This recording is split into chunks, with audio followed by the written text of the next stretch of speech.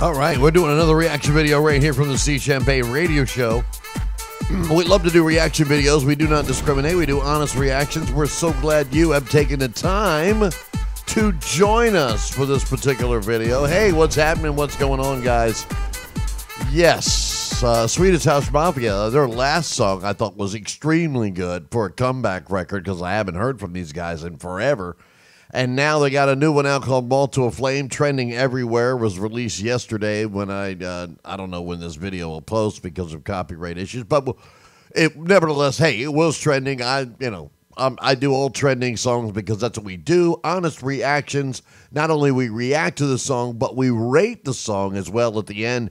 Talk a little bit about Swedish House Mafia, and uh, we would love for you to be a part of that. Don't forget to hit the like and subscribe button down there to keep these kind of channels alive. If you like watching people do uh, reaction videos, I know me and other reactors would really, really appreciate it. Let's just dive right into this thing, and I'll hit the button, and away we go to Reaction Land.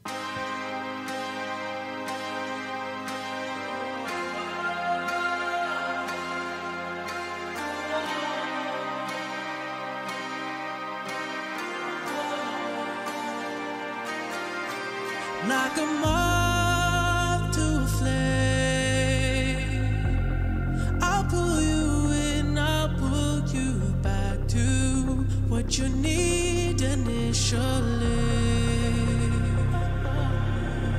It's just one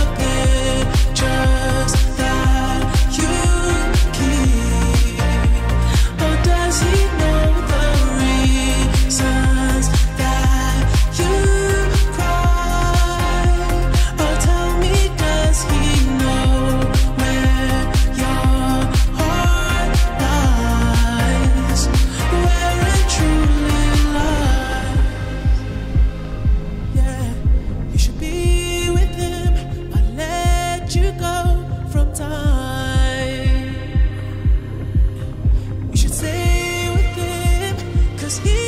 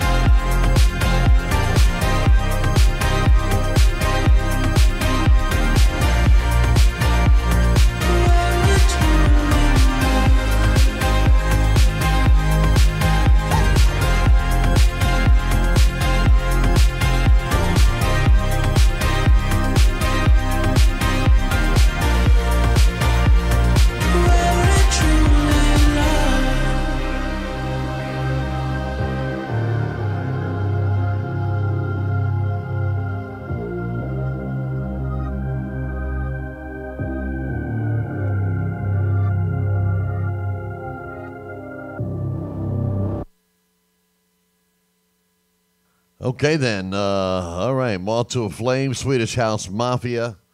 Uh, right here from the Steve Champagne radio show. All right, I told you we're going to rate the song, which we're going to do now. Five and a half stars is the greatest song of all time. Five stars is an A, four is a B, three is a C, two is a D, one's an F, zero stars. Why did you even bother to record it? Now, for those people that want to rate the song with me and have the courage of your convictions, we would love for you to comment in the comment section down there. Tell me if you think I'm right. Tell me if you think I'm wrong. Actually, we do a live show every several weeks where we have a segment called Where Steve Was Right and Where Steve Was Wrong. You know, all the things that we talk about. And when I blow it, uh, actually, it's called Where I Knew It and Where I Blew It. That's the segment. And uh, when I'm, man, when I'm wrong, I man up.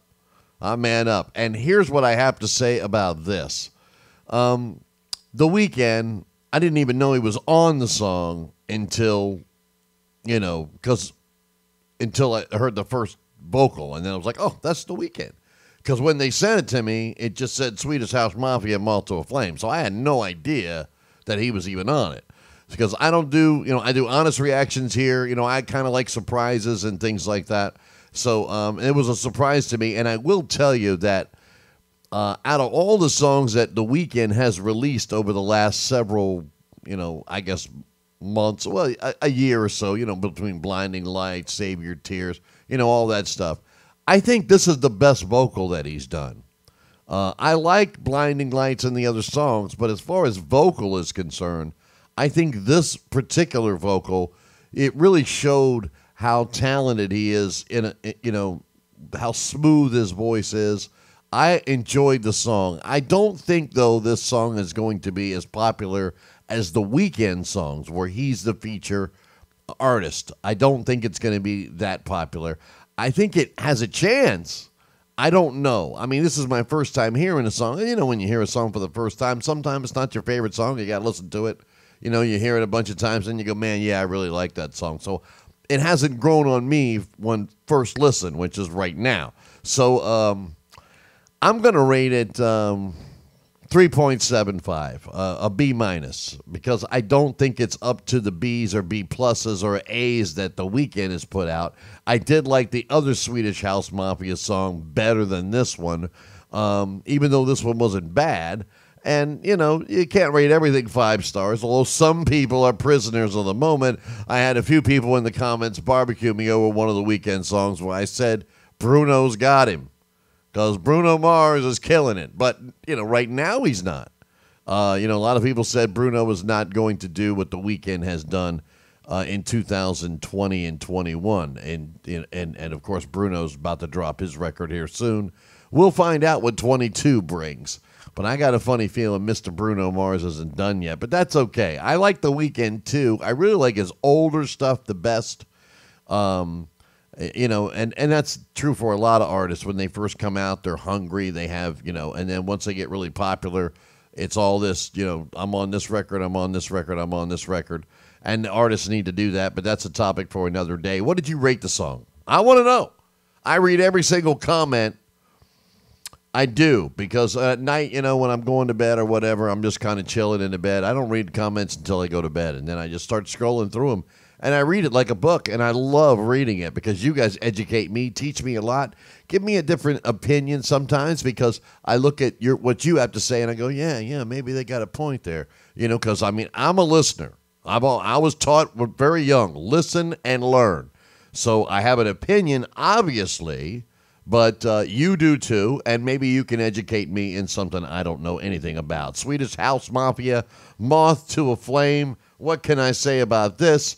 except for, hey, the video's over now. What can I say? we encourage you to like and subscribe to hear more What's Hot and reaction videos from the Steve Champagne Radio Show. Join our internet musical global family of friends. Until next time.